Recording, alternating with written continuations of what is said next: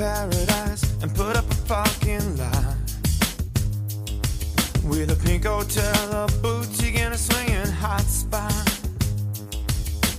Don't it always seem to go that you don't know what you got till it's gone? Be a paradise and put up a fucking line. They took all the trees and put them in a tree. And they charged the people a dollar and a half to see them. No, no, no, don't it always seem to go that you don't know what you got till it's gone? You'd be paradise